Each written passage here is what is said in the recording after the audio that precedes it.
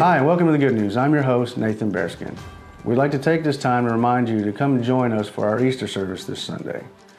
We are truly blessed to get to celebrate the resurrection of our Lord and Savior Jesus Christ with you. Don't forget, North Point Worship is right around the corner, April 15th and 16th.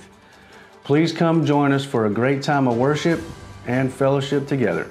Our auction spotlight item for the week is a Caterpillar 420D 4x4 backhoe loader 4-in-1 bucket with a 36 inch backhoe bucket, 19.5L 24 rear tires, 320 80 18 front tires. You'll be able to find this item at our auction at Unity Fest on May 20th.